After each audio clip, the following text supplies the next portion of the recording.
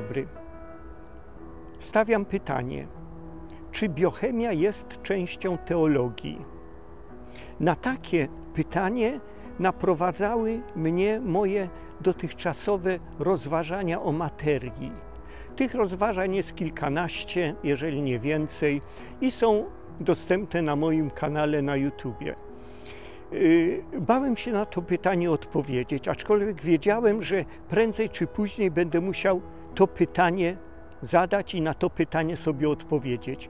Ale mm, w zeszłym tygodniu natrafiłem na artykuł profesora Mieszko Tułasiewicza, filozof polski, yy, który jednoznacznie powiedział, yy, artykuł opublikowany w 2014 roku, jego yy, sentencja jest taka, że nauki przyrodnicze są częścią teologii. Bardzo mnie ucieszył ten artykuł, szkoda, że go nie znałem wcześniej, ale chcę teraz pokazać moje myśli, moje rozumowanie po przeczytaniu tego artykułu i cieszę się, że profesor Mieszko Tułasiewicz odważył się na taką bardzo, bardzo y, rewolucyjną, wręcz odważną tezę. Wniosek, przepraszam, wniosek, na taki odważny wniosek. Y, no więc do rzeczy. Materię stworzył Bóg. W Biblii są dwa opisy stworzenia materii. Pierwszy opis w Księdze Rodzaju i dru drugi opis w Ewangelii Świętego Jana. Przypatrzmy się opisowi w Księdze Rodzaju. To jest pierwsze zdanie z Biblii, pierwsze kilkanaście wersów z Biblii, gdzie Bóg stwarza y, wszystko. Na początku Bóg stworzył materię. Jest, y, po pierwsze, nie jest to opis naukowy, jest to poemat. Poemat, który został napisany 800 lat przed Chrystusem i y, naukowości tam żadnej. Ani kolejności, ani naukowości, ani nic. Y, został napisany bardzo wcześnie, 800 lat przed Chrystusem, jak byli w niewoli babilońskiej Żydzi i y, prawdopodobnie został napisany ku podnoszeniu morale i y, dobrego samopoczucia Żydom, Izraelowi na wygnaniu. Jest to piękny poemat, poemat rytmiczny, poemat do deklamowania lub do śpiewania, gdzie się rytmicznie powtarza w tym dniu Bóg powiedział i powstało i widział, że jest dobre. W tym dniu Bóg powiedział i powstało i widział, że jest dobre. I tak rytmicznie przez sześć dni, a w siódmym dniu Bóg odpoczął. I nie jest to opis naukowy, jakby niektórzy sądzili. Jest nawet y, Towarzystwo Kreacjonistyczne, ma swój nawet y, y, ma swoje czasopismo naukowe, którzy uważają ten opis za, za dosłowny. Uważają, że faktycznie jak obliczyli, Bóg stworzył świat w, w ciągu, że, świat, że w ciągu sześciu dni, że świat trwa, cały kosmos trwa troszkę ponad 6 tysięcy lat i y, podważają y, badania y, wieku, badania przez promieniotwórczość, badania wieku skał, wieku skamielin i uważają, że to jest opis prawdziwy. W świetle obecnej nauki absolutnie to jest nie do utrzymania. Świat trwa ileś tam miliardów lat i nie do utrzymania jest opis biblijny, jeżeli go traktujemy jako naukowy. Nie. Chodzi tylko w tym tekście biblijnym o to, że świat stworzył Bóg. I wszystko, co jest w świecie, materia, wody, morza, lądy, ptaki, ryby, i w końcu my zostaliśmy stworzeni przez Boga i nie jesteśmy wieczni. Materia nie jest wieczna. Materia miała swój początek. W świetle obecnych badań naukowych też bardzo dużo wskazuje, że materia musiała mieć swój początek, że świat musiał mieć swój początek. Y, czy to będzie Big, y, y, wielki wybuch, czy inne teorie, zostawmy to. Nie jestem kosmologiem i, i nie będę tego rozważał. Drugi opis,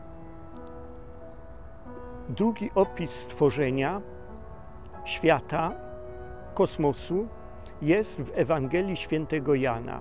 Jest, są to pierwsze zdania tej Ewangelii, prolog tej Ewangelii. Posłuchajmy. Na początku było Słowo, a Słowo było u Boga i Bogiem było Słowo. Wszystko przez nie się stało, a bez Niego nic się nie stało, co się stało. W Nim było życie.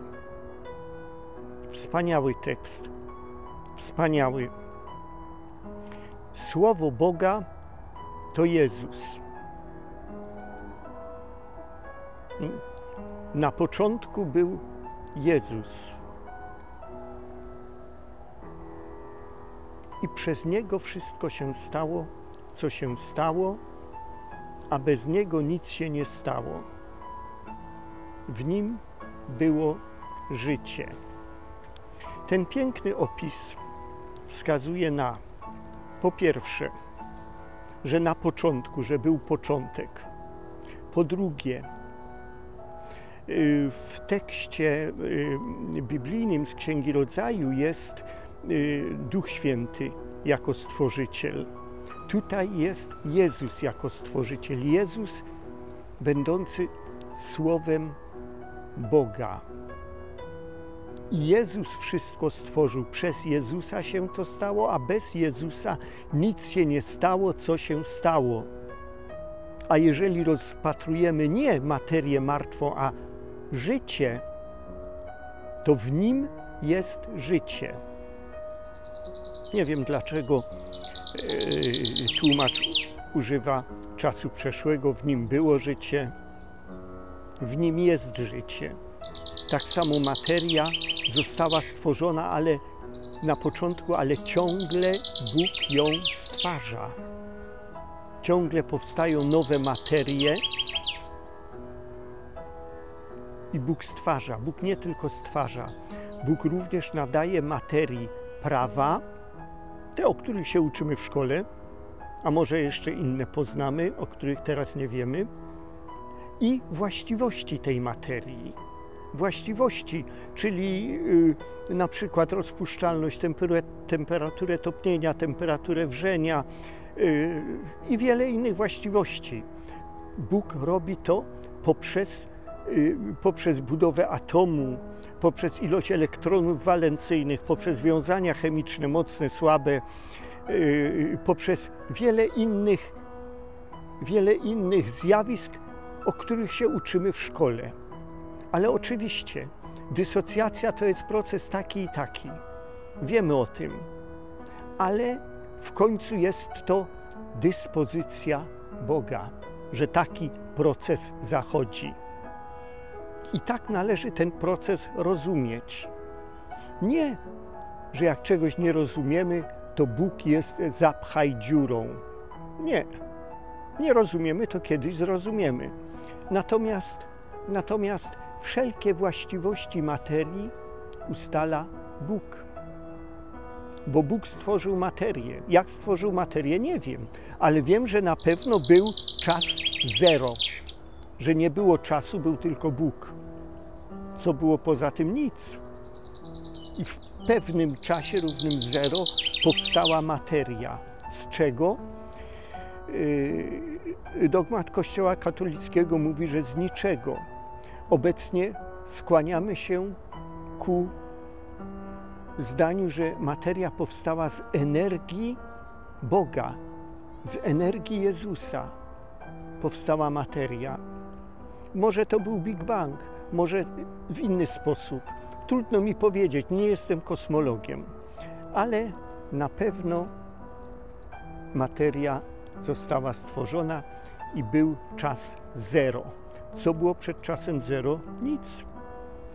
I w tym czasie zero powstała nie tylko materia, prawdopodobnie najpierw powstały cząstki subatomowe, y, subjądrowe, potem, potem y, zręby atomów, potem plazma, potem y, atomy, potem cząsteczki i tak dalej.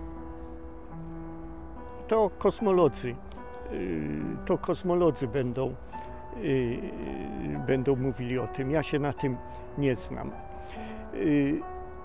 Natomiast na pewno był czas zero, co y, również wynika z niektórych praw, na przykład z praw termodynamiki, że był czas zero.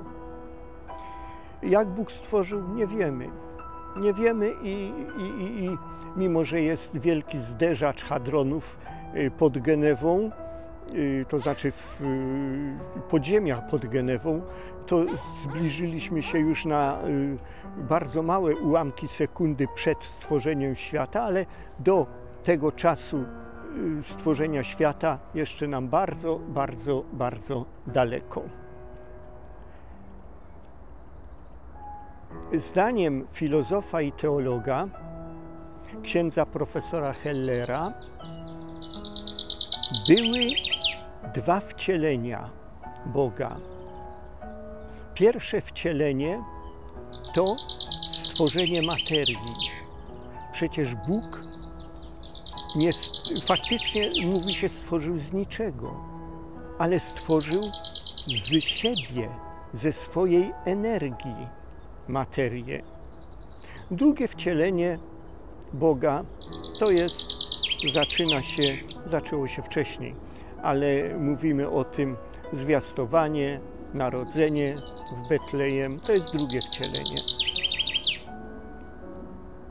Pięknie to określił ksiądz profesor Heller, dwa wcielenia, że stworzenie materii było wcieleniem Boga.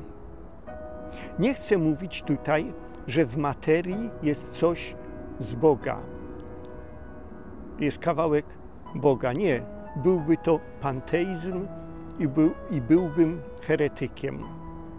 Natomiast widzę, że nie można dzielić materii na, y, na y, świecką i świętą. Nie. Materia cała jest uświęcona przez Boga. I zbliżamy się do końca. Skoro, skoro materia, nauka o materii, chemia, biochemia jest, jest nauką o stworzeniu Bożym, to dlaczego nie można ją zaliczyć do teologii? Oczywiście ona się będzie posługiwała zupełnie innymi